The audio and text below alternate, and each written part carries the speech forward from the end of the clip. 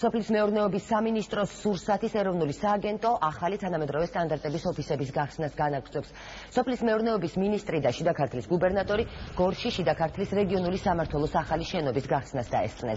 დღეიდან ადგილობრივ მოსახლეობას საშუალება ექნება სრულყოფილად ისარგებლოს ყველა იმ სერვისით, რასაც სურსათის ეროვნული სააგენტო სთავაზობს. სურსათის უვნებლობა, ვეტერინარია და მცენარეთა დაცვა კი ის სფეროებია, რომელთა სახელმწიფო კონტროლს სააგენტო ახორციელებს.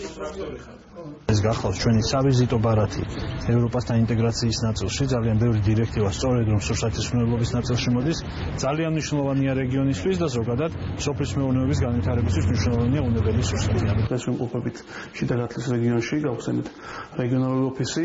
ოფისი წარმოადგენელი არის როგორც სურსათის სპეციალისტები ასევე ვეტერინარები და ფიტოსანიტარები.